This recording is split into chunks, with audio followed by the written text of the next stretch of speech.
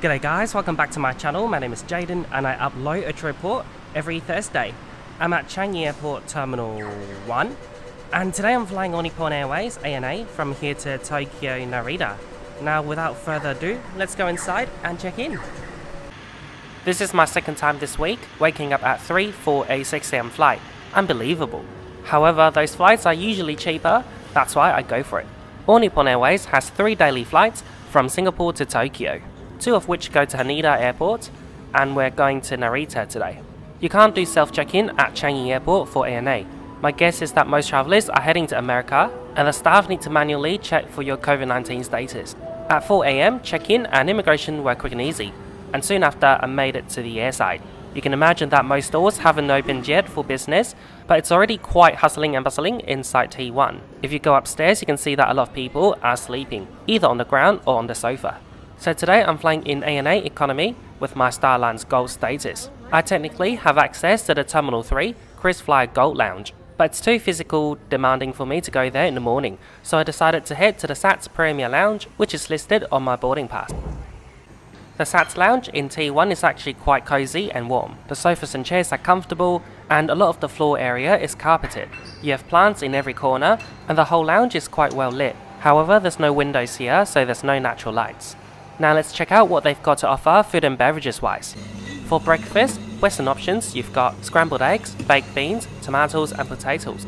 For something more local, you can make yourself a bowl of laksa.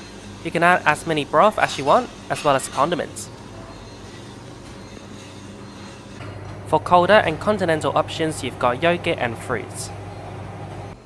Alcohol is available at 5am in the morning. You can help yourself with a glass of wine and spirits. For sparkling, it's actually from France, but it's not from Champagne, so it's not champagne. The laksa is really, really delish. The spice is definitely waking me up. Now let's go check out the shower room. The first thing that caught my attention is the Malaccan tiles. So Malacca is a region in Malaysia. Their culture, infrastructure and design are heavily influenced by the Chinese, Dutch and Malays. So other than the tiles, the shower room is really modern and again very well lit. You've got space for your carry-on and the shower room itself is quite massive as well and you've got three coat hooks.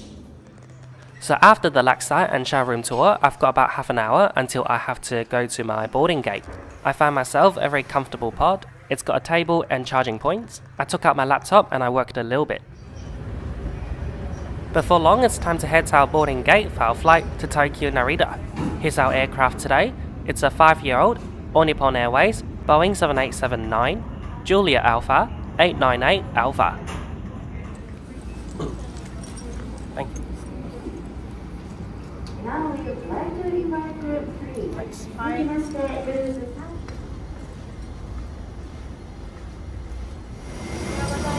Good morning.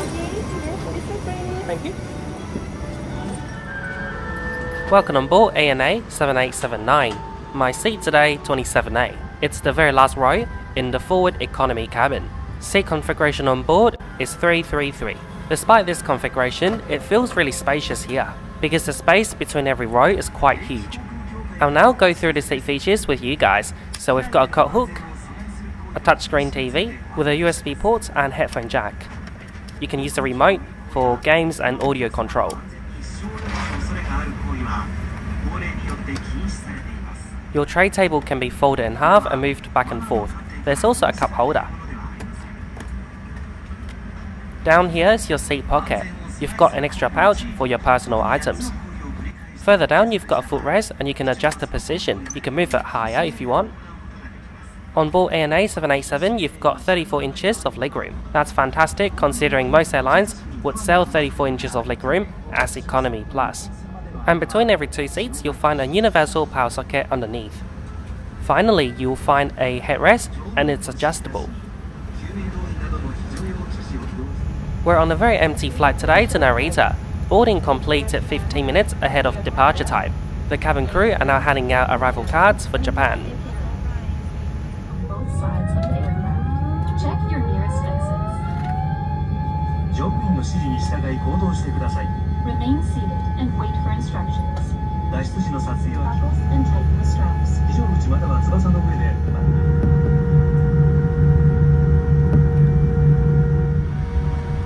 I'm guessing our flight today is about 10 to 15% full. It's going to be a very comfortable flight for all.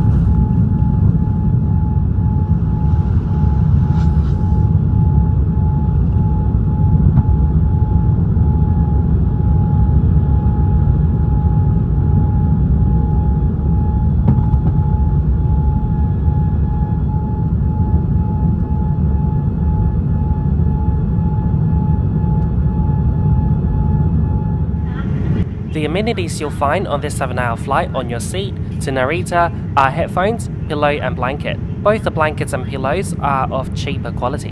And look at the pillow, it's quite thin. Your seat recline is really generous, and it's the same even if you're sitting at the back row. The seat back doesn't just go backwards, but the seat cushion actually moves forward. This design minimizes the impact for the passenger behind you when you recline, but it reduces your leg space. Personally, I do prefer this design. It's fairer, and I actually find it more comfortable. It's a bit more economic. Hello there, welcome on board Nippon 7879 Lavatory. This is just behind my seat, 27k. So relatively sizable, very clean obviously. We just took off. I've got my Qantas PJ that I'm gonna change into later and I got my hotel slippers already. You've got Japanese bidet toilets and your magical buttons right here for your bum bum. You've got a mirror and handle and two hooks itchy knee. Ta-da, now I'm wearing loosely and comfortably, and I'm also using my coat hooks. Watching the sunrise from a MT787 cabin is a different vibe because the windows are larger and also you don't have other people's head obstructing your view. The meal service is about to begin so I pull down my tray table. The service is really quick because it's a very empty cabin. Within 5 minutes, the cabin crew reached my row.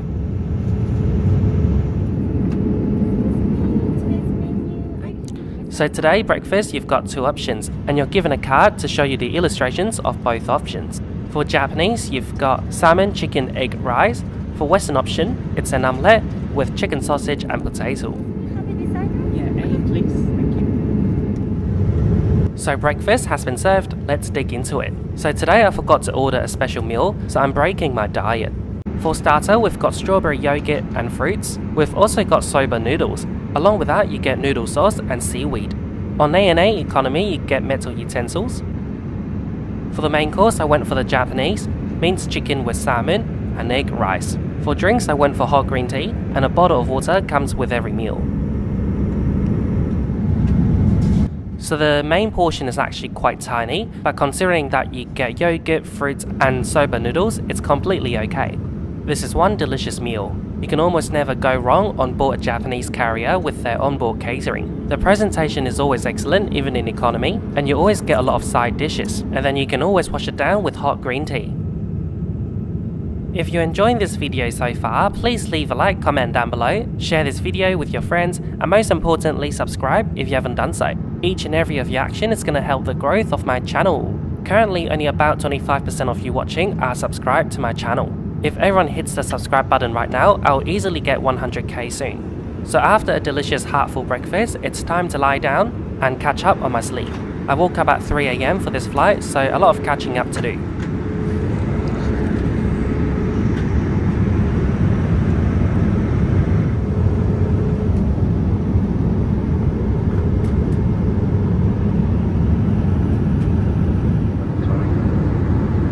Latest weather in Narita. Temperature of It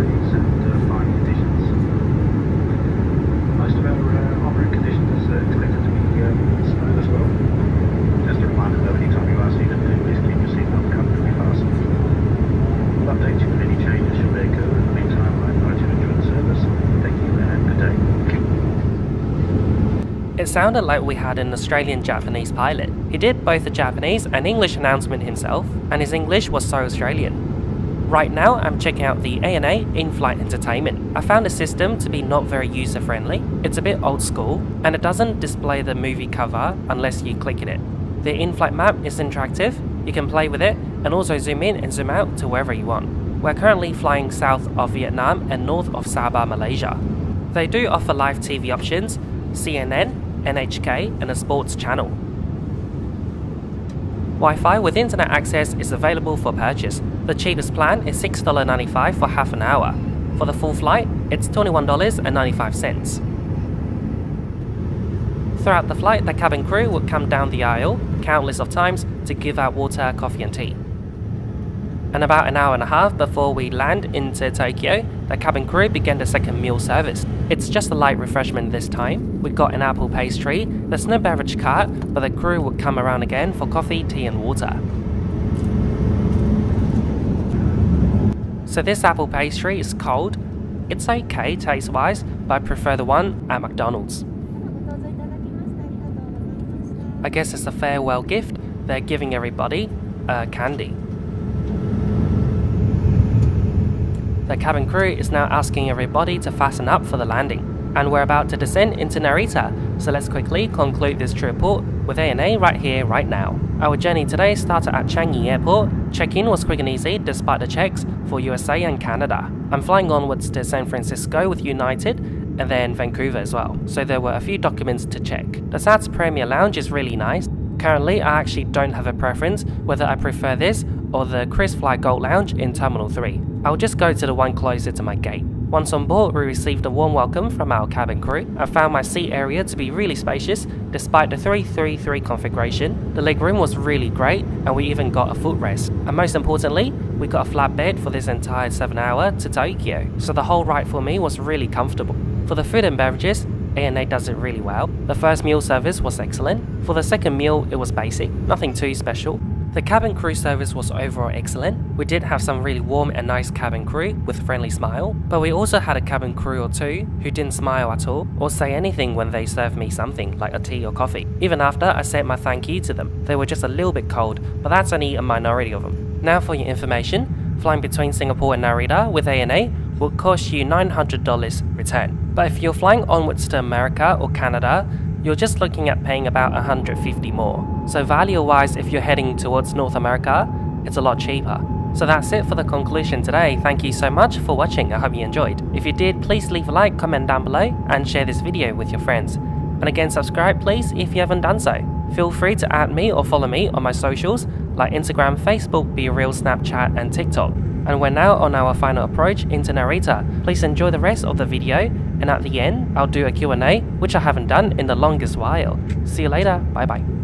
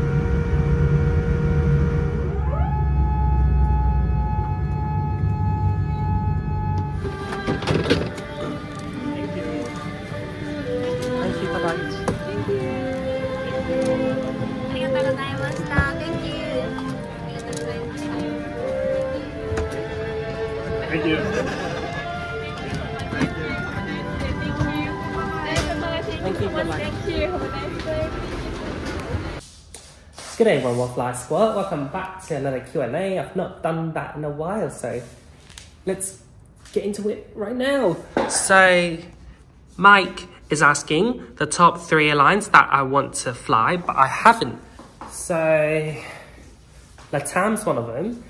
So I really want to explore South America and fly with Latam because it's uh, ex-oneworld, but also they're partner with Delta, which I've got gold status with.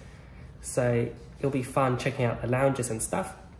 So other than Latam, South African Airways, I want to check out.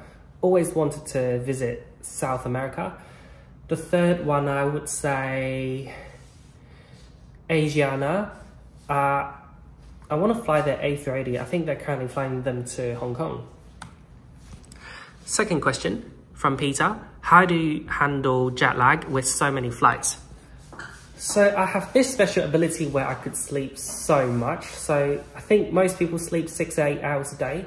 I sleep up to 12 to 15, up to 12 to 15, like I need 10.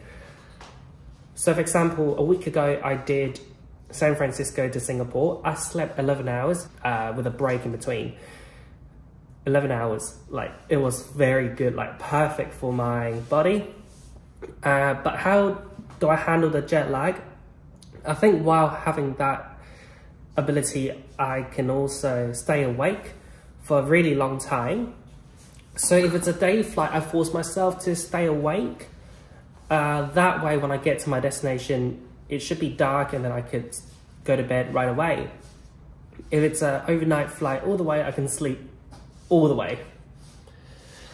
Now, moving on, Vincent is asking my favorite things to do in Saigon, Vietnam. Uh, I would say food. Uh, lots of good Vietnamese food. Uh, Western food is quite good there as well. It's cheap. Uh, I think there's a pizza place called 4P. Very good pizza. One of the best ones I've ever had. How do you take advantage of your frequent flyer status? Uh, obviously, go to the lounges, take a shower, have a champagne. Um, I think the most that I take out of it is actually baggage allowance for myself. Uh, especially when I book basic economy in America, you don't get uh, any allowance with uh, basic, but with your gold status, you can check in one, and also for other travelers in your booking, they get the same allowance as you.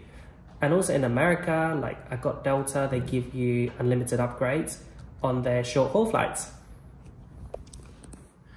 Which airline business class would you recommend for a long haul flight? I, I guess that depends on what's your priority. Do you prioritize a big, comfortable bed, uh, food, or service? Bed wise, I would say Cathay is quite good. United Polaris is quite good as well. Um, for food, maybe Singapore Airlines. Qantas can be a hit and a miss, but when it's good, it's really good. Um,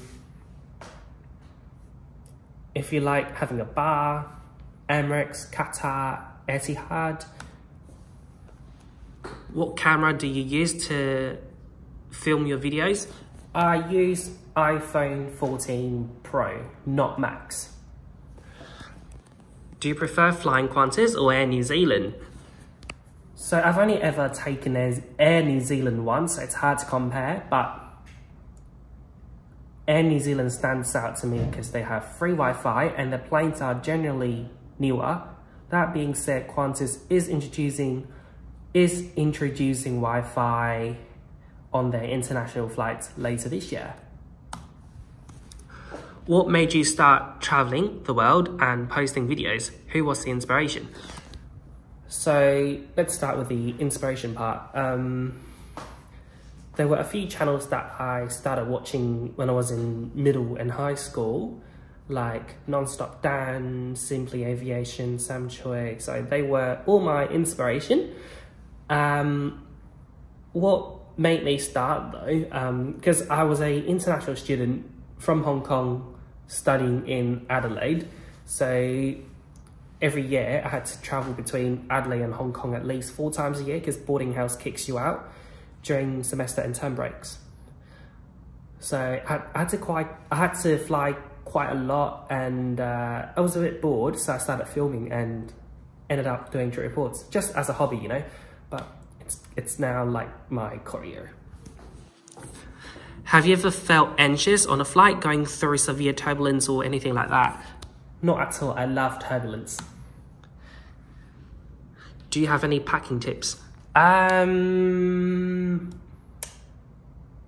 row your clothes if you need to save space, but be careful because when you row them, it gives you the uh, perception that you've got lots of space, which is true. But when you row everything and you stack them all up, it can get heavy and it may go over your allowance.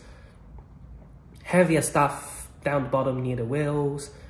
You don't want to um, have lighter stuff down there and break them. Uh, fragile stuff, wrap it with your socks, with your beanie. If you have a box for that particular item, even better. Like for my microphone, I keep my box when I bought them. I recently went to Canada and I bought maple syrup and I used my socks to wrap them around. Do you have a preference, left or right side of the plane? Uh, I don't but I usually go for the side where I see the sunset or sunrise. So I will look at the map. Let's say I'm flying from Australia to Hong Kong, Australia to Hong Kong, a day flight. So I'm gonna reach Hong Kong at night. So I'm definitely picking the A side, so left hand side, because the sunrise is gonna be there. On the other side, I'm gonna see I'm gonna see nothing. How are you able to fly so often while you're still at uni? So I finished uni just over a year ago. Um, but even so, I was able to travel quite a lot domestically during COVID because uh, uni wasn't every day. It's about three to four days a week, and I get long weekends to travel around Australia. And also, I went to New Zealand one time. Qantas Hong Kong Lounge, uh, did you miss it? Absolutely, like I can't wait to go back. They reopened a few weeks ago. New York cheesecake. Oh, pork fries, yeah, yeah, yeah. They're, they're not vegan, but I'm gonna break my diet once maybe. What's your favorite airline? Haha, joking. Yes, yeah, so I actually specifically asked people to not ask me questions like that because I've answered them many, many times. But yeah, my favorite would be Cathay Qantas, BA, Virgin Australia, Virgin Atlantic.